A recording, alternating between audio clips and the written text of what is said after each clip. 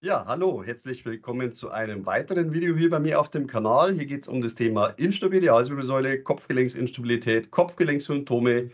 Und ja, mein Name ist Uli Gottfried. Ziel dieses Kanals ist, einen Wissensaufbau im deutschsprachigen Raum durchzuführen.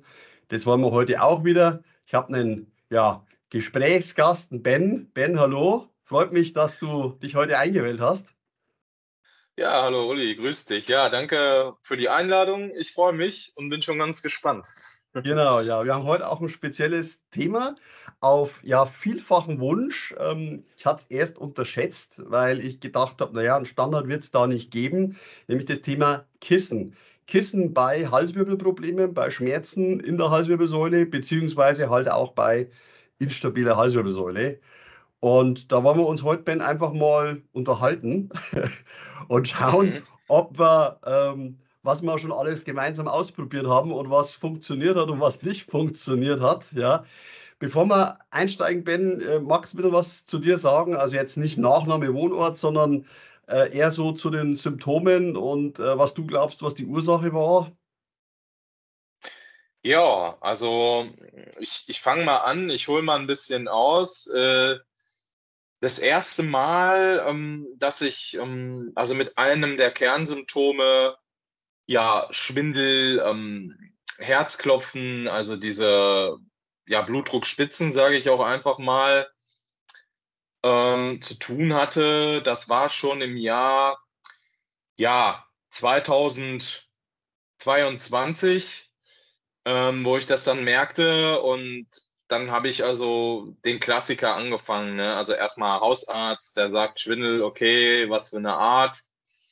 Und ähm, ne, da gibt es ja diese Unterscheidung immer Bewegungsschwindel und äh, paroxysmalen Lagerschwindel etc. War dann auch beim HNO. Da wurde ich dann auch weitergeschickt, äh, als da ja ähm, also am Anfang hieß es, es wäre dieser vom Ohr mit den Kristallen, ne, dieser Lagerungsschwindel. Da hat man mich dann auch mit Beta-Histin ausgestattet und diese Schwindelübung, die ich halt für den Gleichgewichtssinn äh, machen sollte. Und ja, dann ging es halt weiter in Richtung Neurologe. Der hat dann wohl auch nichts festgestellt und ich war da sogar zweimal. Ne? Und ähm, das hat sich aber dann nach einer Zeit wieder gelegt. Ne?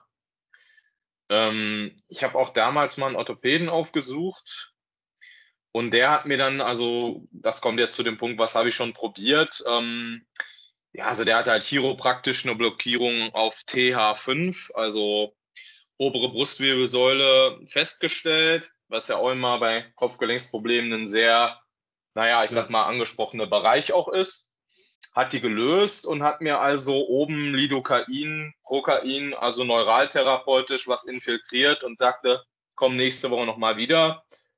Das haben wir dann zwei, drei Mal gemacht. Das hat schon, glaube ich, auch einen Teil geholfen. Und dann hatte ich auch erstmal einige Zeit lang Ruhe. Ne? Und dann hat sich das aber, nachdem ich mal CrossFit äh, mit einem Kumpel in München während meiner Weiterbildung gemacht habe, und wo ich dann so Überkopf drücken, 55 Kilo, also ist eigentlich eine total blöde Bewegung. Also du nimmst wirklich diese Langhantelstange und drückst die so über den Kopf, gehst mit dem Kopf nach vorne wieder zurück. Also auch etwas, wo man natürlich viel falsch machen kann. In der Nachhinein muss ich sagen, ich hatte dann ganz häufig diese blitzartigen Schmerzen. Also das schießt mir dann durch den Körper wie so ein Blitz und ich bin so richtig blockiert und weiß gar nicht, was passiert hier. Da dachte ich erstmal, ja, ähm, Bandscheibenvorfall und äh, dann wurde halt auch ein normales ähm, MRT gemacht von der HWS und der LWS auch. Und was halt interessant war, es wurde in beiden Bereichen eine Steilstellung festgestellt. So. Was auch schon erstmal der Indikator war, okay, da ist was. Mir hat man dann ärztlich in den Auswertungen gesagt, äh, okay, hat jeder Mensch, kommt ganz häufig vor, Handyhaltung etc ist muskulär so. Ne? Physiotherapie. Da habe ich dann ein gutes Jahr lang Physiotherapie äh, durchprobiert. Ich war auch zweimal bei einer Osteopathin. Das hat mich ehrlich gesagt noch mal mehr abgeschossen. Also es war dann ganz extrem mit dem Schwindel und der Benommenheit. Also das war ganz lange Zeit das Leid Und dann hatte ich es auch immer wieder, dass ich des Nachts so aufgewacht bin, so wie so Panikattacken, Herzklopfen oder morgens nach dem Aufstehen auf mal geht mir die Drüse und ich denke, was ist los? Guck hier auf diese tolle Biofeedback-Sportuhr, äh, die mir das dann auch so nochmal bestätigt. Ne? Ja, und also wirklich schon nochmal zum Hausarzt, ähm, bis ich dann irgendwann mich dazu entschlossen habe, nach Recherche, wie ich dann auch auf deinen Kanal kam und auch die Simone, die den Ratgeber Instabile Kopfgelenke geschrieben hat, das habe ich mir ganz früh geholt in meinem Verlauf. Und ich muss auch sagen, ich bin dann nochmal in eine Spezialklinik, ähm, die dann speziell für spezielle Wirbelsäulenchirurgie äh, war. Und da habe ich dann auch geschafft, dass man mir das Upright MRT sozusagen auf gesetzliche Kasse empfohlen hat, was ich sonst hätte selber zahlen müssen. Aber ähm, da bin ich auch bei einer Krankenkasse, wo da ein bisschen was möglich ist und ja, dann hat es sich bestätigt, so der Verdacht, den ich dann schon hatte. Ne? Und äh, bei mir ist das dann eben das Problem zwischen C0, C1 und hauptsächlich, wenn ich den Kopf aber auch nach rechts abkippe, so, also nach rechts oder links, genau, dann kommt richtig schön. Atlas und Axis, ja. Genau, also die, ähm, der shiftet vermehrt nach rechts, der Axis und äh, also zum Myelon habe ich einen Millimeter ähm, Platz. Das heißt schon eine sehr enge Kiste da oben. Ne? Und ähm, naja, gut, also man konnte mir jetzt nicht so richtig sagen, ist das der Myelon-Kontakt, dieser einschießende Schmerz, den ich, also ich hatte den auch auf dem Fahrrad, ne? Also ich habe sportlich immer viel gemacht, das muss ich auch sagen. Skateboard fahren habe ich lange gemacht, jahrelang. Ähm, da ist man auch viel gefallen. Ich, ich erinnere mich immer noch, also weil man fängt ja an zu überlegen, ja, und also für mich ist es auch diese CrossFit-Trainingseinheit, der Tropfen aus dem heißen Stein. Gut, ich hatte zweimal Corona, ich bin entsprechend dreimal geimpft. Ne? Ich denke, das hat alles nochmal was, das fast zum Überlaufen gebracht. Ne? Als Kind ein paar Mal gefallen auf dem Hinterkopf und so Sachen. Ne? Ähm, also ich hatte mich neulich auch nochmal unterhalten mit meiner Mutter und die sagte, naja, du warst schon, hattest mal so eine Phase, da warst du häufig krank und so. Und da habe ich mich dann so zurückerinnert, naja, wer weiß. So, ne? Also das ist halt so ein bisschen meine Erklärung, äh, dass es ein Mix aus wirklich diesen Sachen ist. Diese Trainingseinheit war der heftige Auslöser, weil ich halt auch gestehen muss, ich habe lange Marathon gemacht, ne? hatte das mit Leidenschaft betrieben. Ich habe aber immer schon so gemerkt, irgendwas fühlt sich hier komisch an. Da war immer so eine Spannung auf dem Bereich in der HWS. Ne? Und irgendwann fing ich dann an, nach Marathon mehr in dieses Krafttraining zu gehen und fing dann natürlich auch mehr an mit diesen Schultergeschichten. Also das ist für mich irgendwie schon alles ganz schlüssig, ne? Und dann war ich auch froh, dass ich es dann schwarz auf weiß hatte in dem Befund, weil, naja, wie es dann halt so ist, wird man auch viel gesagt, ja, fahr mal deinen Stress runter und so, ne? Ja, genau. Also bei mir war es auch sehr emotional. Ich habe es ja auch mal gesagt. Also ich hatte Tränen nach dem Upright MRT. Ähm, weil man es dann endlich klar weiß, dass man nicht verrückt ist. ja. ja, ja, Und definitiv. auch der Verlauf ähnlich wie du. Also ich glaube auch, also wir haben ja Injury Recalls auch bei mir gemacht, ja, ein Unfall am Kinn mit dem Fahrrad, zwei Autounfälle. Also es war nicht das Ereignis und bei mir hat dann eine falsch eingestellte CMD-Schiene praktisch die Muskulatur hinten völlig abdrehen lassen. Die war einfach falsch geschliffen und dann seitdem praktisch, ja, ähm, war dann völlig Ende. Ähm, da kommt dann einfach irgendwann noch ein Punkt dazu und dann kannst du nicht mehr kompensieren. Ne? Ja. ja, ja, total. Genau. Kissen.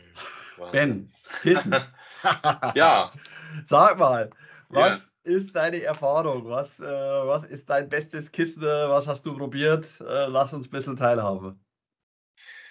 Ja, ich sag mal nur immer mittlerweile, wie man sich bettet, so liebt man. Ne? ich habe ähm, also damals ja schon im Studium hatte ich das auch mal, dass ich dachte irgendwie, boah, HWS, da hast du irgendwas verdreht, keine Ahnung. Und es, also es ist jetzt schon 13 Jahre her. Ich hatte damals äh, meine Partnerin und die schenken mir dann das Röver Nackenstützkissen. Also ein baden-württembergischer Hersteller. Ähm, das habe ich lange Zeit ähm, benutzt und auch eigentlich sehr gut vertragen. Da wusste ich aber noch gar nicht, dass ich da irgendein Thema habe. So. Ne? Also das, das Thema war dann einfach gar nicht bei mir im Leben präsent. Also das war eins für, das hatte so verschiedene Teile. Ne? Ähm, das kostet heute so zwischen 120, 130 Euro. Ne? Und es, äh, also so ein spezielles Nackenstützkissen. Äh, ich gebe mal kurz mein aktuelles, also von der Form her äh, sieht man jetzt hier. Man sieht, also das war dann eine, so ähnliches wie das hier, kann man sagen. Genau, nur dass du, ähm, also hier ist ja die Form ja, die ist stark vorgegeben, ja. Du hast also ja einen Kern und du hast diese Form, dicke Seite, dünne Seite, in der Mitte diese Schwingung und wo quasi dann ja der Kopf sozusagen rein soll, damit die Wirbelsäule halt irgendwie in einer Linie bleibt und nicht so abgeknickt wird über Nacht. Ne? Und ähm, dieses äh, Röver-Nackenstützkissen, das hat allerdings, da kannst du in der Mitte ähm, das aufmachen. Ich meine, gut, das hier hat auch so ein, äh, das hat so einen Reißverschluss, ja, und ich könnte jetzt auch aufnehmen und, aber ich kann halt am Kissen selber nichts machen. Und da kannst du wirklich, was ich sehr positiv finde, du kannst die Lagen unterschiedlich bedienen. Du kannst eine rausnehmen, du kannst eine reintun. Und also das ist so richtig ergonomisch geformt und das soll halt dauerhaft stützen. Und ähm, also mir ist das jetzt nochmal eingefallen. So, weil warum hatte ich das irgendwann nicht mehr? Ich hatte dann ganz lange Zeit diese normalen Kissen und dann immer so aufgestützt, ne? Sprich, ich, ich lag dann immer sehr so, glaube ich, in der Erhöhung leicht, ne? Und ähm, ja, da fällt mir natürlich auch ein, das ist auch noch was, wo ich nicht erwähnt habe, nämlich diese Schlafstörung, diese Problematik, Ne, du wachst früher auf. Manchmal klappt es mit dem Einschlafen nicht, aber das Durchschlafen ist eigentlich ein Kern. Und wie ich ganz oft äh, morgens am Klagen war, boah, ich fühle mich so benommen und ich habe nicht richtig geschlafen. Da denke ich auch so heutzutage, naja gut, du hast lange auf so einem Standardkissen geschlafen. Wer weiß, was das dazu beigetragen hat, ne? Weil man sich ja nachts im Prinzip äh, auch immer am meisten antun kann in unserer Geschichte wenn die Spannung einfach auf der Muskulatur nicht mehr ist. Und klar, also das war jetzt so das erste Kissen, was ich hatte in dem Bereich. Das habe ich aber irgendwann nach dem Umzug mal bei meinem Vater liegen lassen, weil ich so dachte, ach naja gut, hast du mal ein angenehmes Kissen, wenn du den besuchst. Ne? Und genau, also dieses Kissen von Röver kann vier Höhen individuell einstellen. Ne? Also da hast du wirklich so Varianten von 6, 8,5, 11 13,5.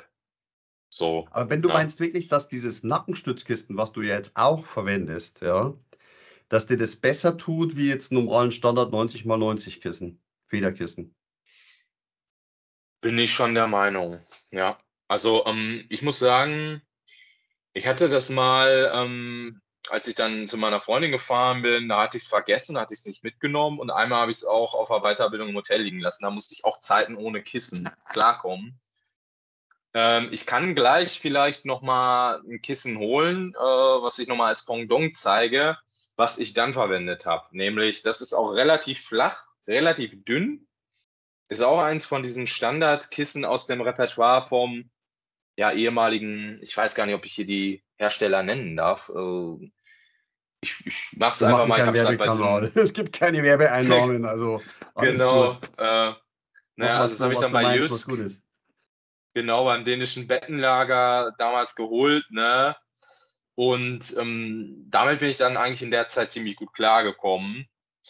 Ähm, bei den anderen Kissen, also als ich dann da gelegen habe, habe ich schon irgendwie für mich gemerkt, wenn ich mich da falsch drauflege, dass dann dieser Schmerz wiederkommt, ne? dass dann irgendwas da passiert, was halt ungut ist. Ähm, ich glaube, es ist vielleicht auch ein bisschen Kopfsache, aber ich habe mich ehrlich gesagt, seitdem ich dieses Nackenstützkissen habe, nicht mehr so ganz getraut, umzuwechseln oder es vermieden, sage ich mal. Ne?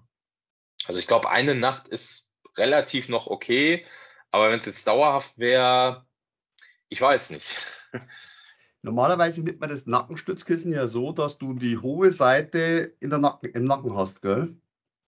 Genau. Du hast, du hast aber gesagt, du, du, hast, du hast es andersrum, ne? Richtig, genau. Ähm, ich, ich meine, wir haben jetzt ja das Thema Kissen gehabt. Genau, ich Ja. glaube, jetzt sieht man es nochmal gut. Ne? Genau, ja. Das heißt, ich lege mich immer hier auf diese Seite, weil ich irgendwie bei der Seite den Eindruck habe, das ist zu hoch. Ja. Da liege ich irgendwie dann total, also dass das irgendwie nicht passt mit meiner Anatomie, dass ich so denke, Ja. nee, also da liegt der Kopf irgendwie auf dem hohen Ding. Das heißt, dann wird ja wieder was abgeknickt. Ähm, ich meine, vielleicht nehme ich das auch nochmal auf mit einer Kamera und überprüfe das, ob das wirklich auch so ist. Aber ich habe das eigentlich nach einer halben Stunde Probe liegen, habe ich dann entschieden, nee, das machst du mal besser nicht. Ne? Ja, ja das, Und dann Genau. habe ich eben ja, die dünne Seite von diesem Memory Schaum Konturkissen genommen. Also das ist halt dieses einfache von dem dänischen Bettenlager. Das gibt es für um die 20 Euro. Äh, kann auch sein, die haben, die haben auch noch ein höherpreisiges für um die 50 Euro. Ich habe jetzt aber in der Tat bisher, dass ich ganz gut mit diesem hier klarkomme. mhm. Ähm, also das ist so das Aktuelle, aber ich bin so ein bisschen natürlich jetzt auch am Überlegen, ja, überprüfst es nicht nochmal. Genau. Ja. Okay. Ja, dann würde ich ein bisschen was sagen, Ben, wenn du so. Ja. Gibt's, ja, weil Gerne. also. Genau, weil ich habe das auch ausprobiert und bei mir ist es anders wie bei dir. Und äh, ich habe jetzt tatsächlich zwei Folien vorbereitet, die ich gern kurz teilen möchte, ähm, damit man das auch ein bisschen sieht, was ich so ausprobiert habe. Ich teile mal einfach den Bildschirm. So. Genau, und ziehe ich dich nochmal hierher. Genau, also ich habe ähm, verschiedenste Kissen ausprobiert, ja. Und ähm, das ist ja das, was du hast, ja. Ähm, Gibt es jetzt als Tempur oder Tempur ist natürlich viel teurer, also mit, mit, äh, mit dem Memory-Schaum, ja. Ähm, ich habe tatsächlich auch ein teures gehabt, ja. Und diese Seite hier, ja, die war mir auch viel zu hoch. Ich hatte unglaubliche Probleme, wenn ich da drauf geschlafen habe, dass in der Früh war alles komplett hart, ja. Dann habe ich es umgedreht, also so wie du, und habe auf der Seite praktisch äh, mit dem Nacken geschlafen, ja. Aber auch da muss ich sagen, ähm, hatte ich enorme Probleme in der Früh und auch nachts, ja. Dann bin ich eben wieder auf ein Federkissen gegangen, ja. Und dann hat ein äh, Kumpel von mir hat mir gesagt, Mensch, also er hat Nackenschmerzen und äh, das ist jetzt total in. Also ich nenne hier auch Namen, ne? da gibt es dieses Blackroll Recovery Kissen, das ist im Moment total hip, ja. Das ist auch Mhm. Memory Charm und du siehst, da ist auch so eine Delle vom Kopf drin und äh, es gibt auch zwei Seiten mit zwei Höhen, ja.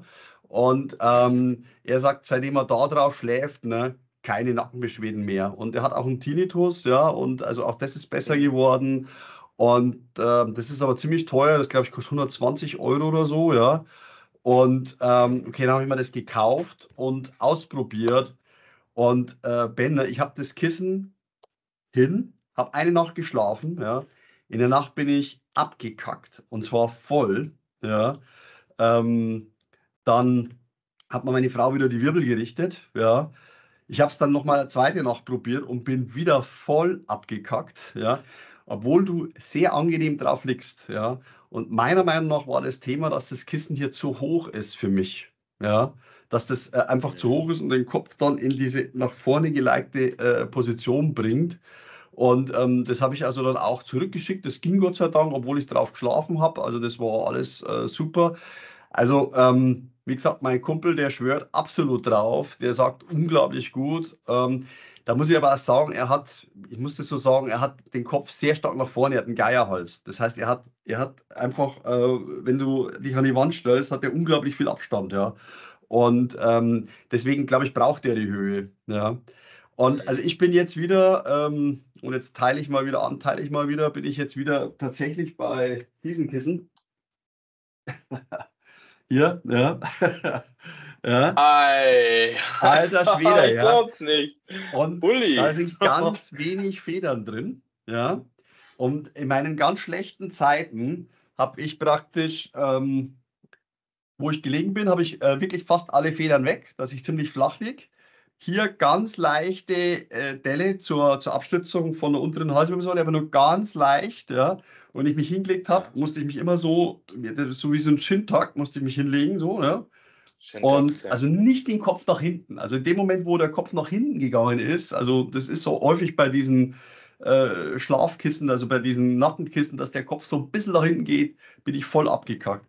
Und was ich dann noch gemacht habe, ich hoffe, man sieht es ja, ich habe dann hier seitlich gestopft, ja, dass der Kopf weder nach links kippen kann noch nach rechts. Ja. Wenn ich es nicht gut gemacht habe und der Kopf ist ein bisschen gekippt, also so, ja, bin ich abgekackt. So. Und ähm, seitlich konnte ich ja jetzt die letzten vier Jahre sowieso nicht liegen. Also wenn ich seitlich gelegen bin, habe ich innerhalb von 30 Sekunden äh, Herzprobleme bekommen und Angstzustände. Ja. Das heißt, seitlich ging gar nicht. Ja. Jetzt kann ich seit ähm, drei Monaten wieder seitlich schlafen, genießt es auch. Und äh, wenn ich mich also umdrehe, forme ich es dann praktisch doppelt, weil da muss ja der Kopf viel höher liegen, damit es dann nicht so abknickst. Ja.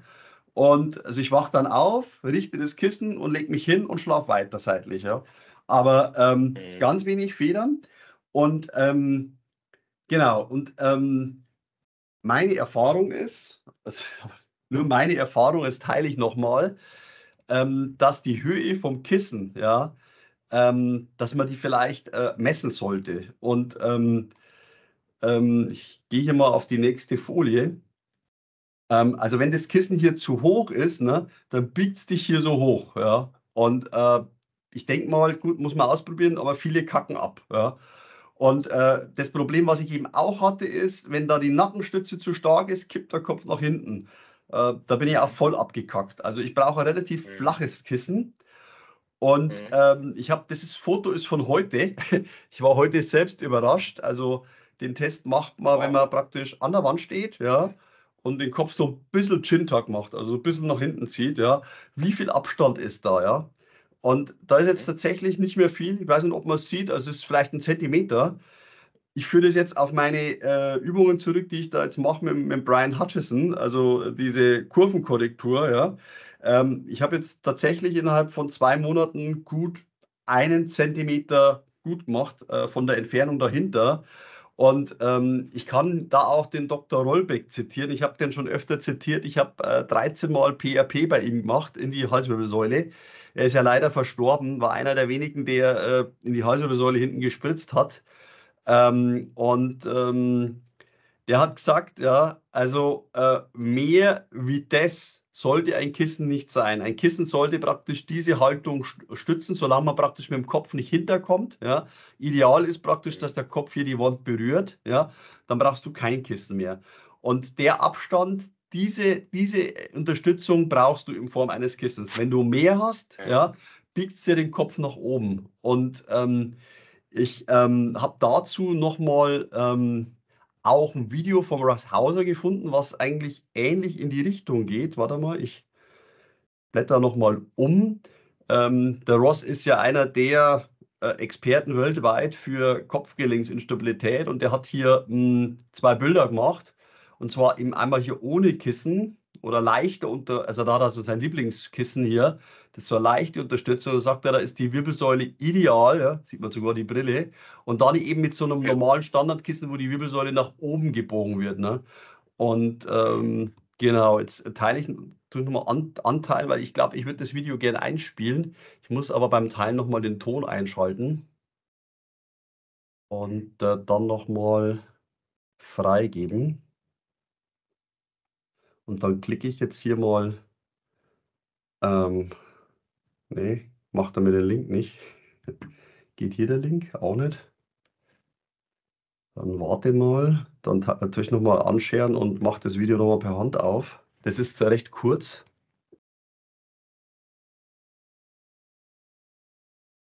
Ähm, ich denke, es ist relevant. Mhm. Bin ich hier gerade ein bisschen am Rödeln. So, Link öffnen. Genau, jetzt habe ich es hier. Moment, jetzt kann ich teilen. So. Teilen, Ton an. Dann schauen wir mal, ob das auch funktioniert.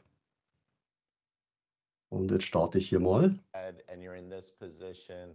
This is perfect posture. When you use a standard pillow, which this would be considered a standard pillow, see how flexed my neck is? This makes the neck curve worse.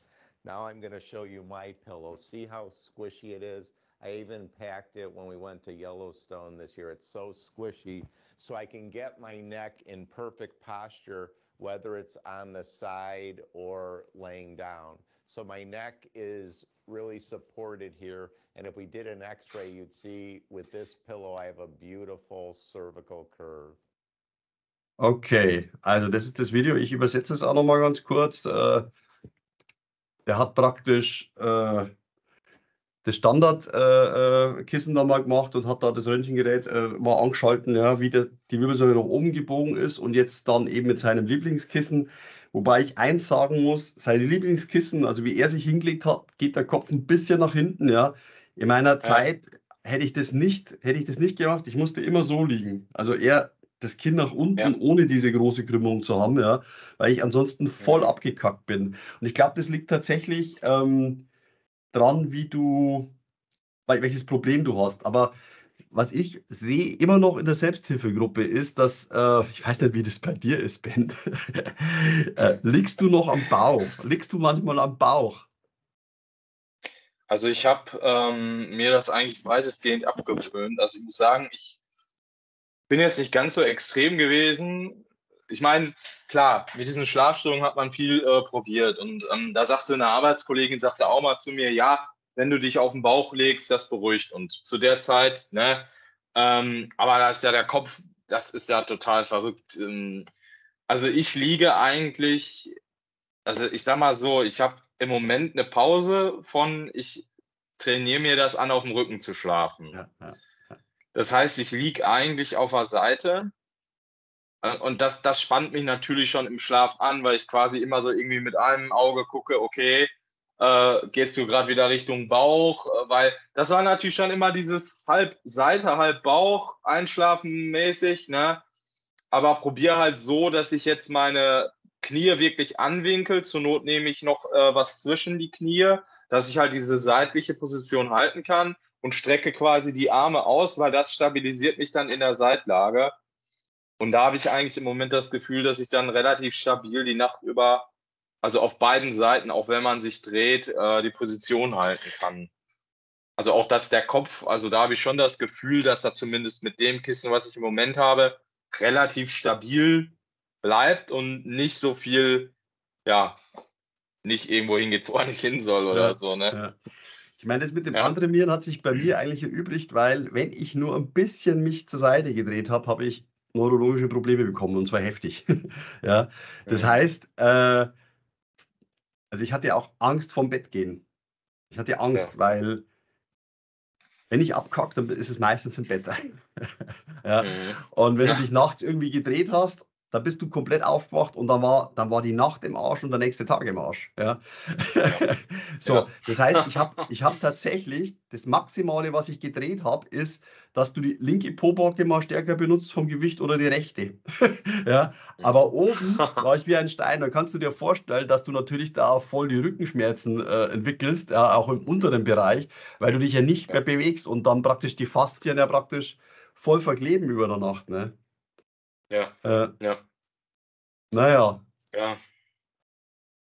Ja. Das ist schon Wahnsinn. Also. Was auch bei mir seltsam war in der Schlafposition, wenn ich fremd, fremd, fremde Betten konnte ich nicht verwenden. Ja, beim fremden Bett konnte es sein, dass ich überhaupt nicht mehr schlafen konnte die Nacht es war in der, in, der, in, der, in der schwierigen Zeit auch so, dass der Winkel des Oberkörpers leicht gebogen hat sein müssen. Das heißt, das Bett hat leicht sich nach oben krümmen müssen. Ja? Also, dass ich praktisch ah. so ein bisschen war im Oberkörper.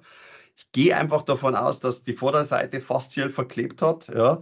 Und wenn ich mich nach hinten gerade gelegt habe, haben praktisch die Faszien oben an der Halswirbelsäule gezogen und die Wirbel verzogen.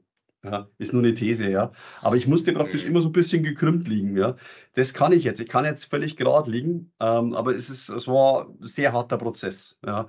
Also, das ist ja immer unterschiedlich, aber tendenziell sage ich, also Bauchlage geht gar nicht, ja. Seitliche Lage nur mit richtiger Unterstützung von der Höhe, dass du den Kopf nicht in die Richtung oder in die Richtung drehst, weil da haben die meisten ja ihre Probleme. Und am besten ja. ist eigentlich Rücken und zwar so abgeschirmt, dass du mit dem Kopf nicht nach links und nach rechts fallen kannst. Ja.